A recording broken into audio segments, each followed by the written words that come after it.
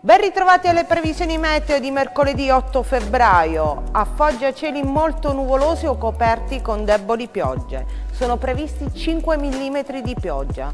Temperatura massima registrata di 7 gradi. In serata presenti schiarite. La minima sarà di 2 gradi. Per ora è tutto. Buon proseguimento con i programmi della nostra rete.